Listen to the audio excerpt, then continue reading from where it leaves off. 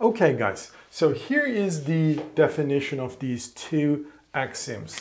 Uh, translation invariance, uh, which is related to scale invariance, and strong monotonicity. It's a very strong assumption.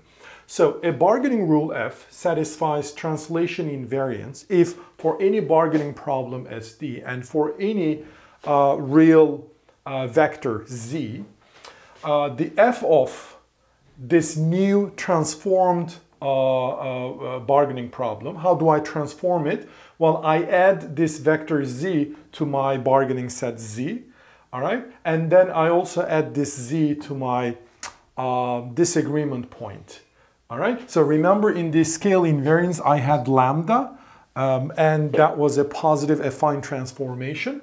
This is also a positive affine transformation, but it's uh, a specific positive affine transformation because xi plus zi basically means uh, the, the constant, the positive number I'm multiplying xi is 1, and then I am adding a, a, a number zi. Okay, so that's a specific.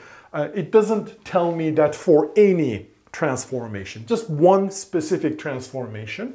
So the, when, I, when I look at the solution of this transformed bargaining problem, well, it should be equal to my original, the solution of my original bargaining problem plus this, this z vector, all right?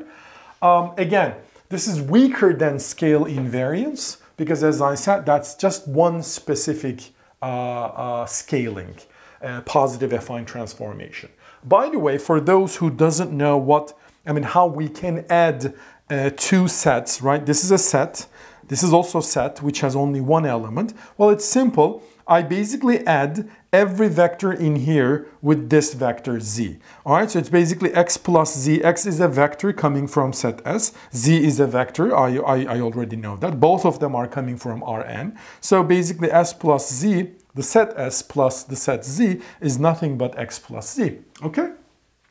The second assumption, the strong monotonicity, it's stronger than individual monotonicity.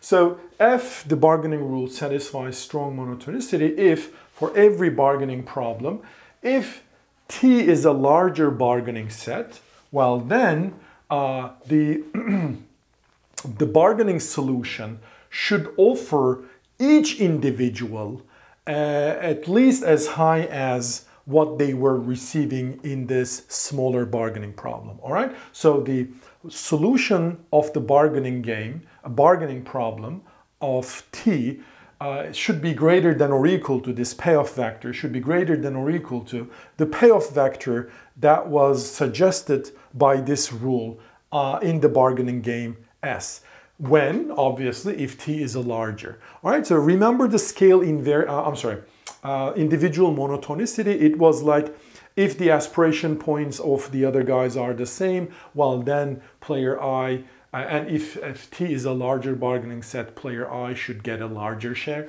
uh, weakly. But here it doesn't say, uh, you know, whether the other guys um, aspiration points are increasing, decreasing. We don't know, we don't care. As long as T is a larger set, well, this should hold. Okay, so in that sense, it's a stronger uh, uh, concept. So the Kalai's theorem basically, if you retain weak Pareto optimality and symmetry, and then add these two axioms, translation invariance and strong monotonicity, well then you are going to have one and only one rule, bargaining rule, which is the egalitarian rule, which means you, you, you should be distributing uh, uh, the surplus to agents equally. Okay?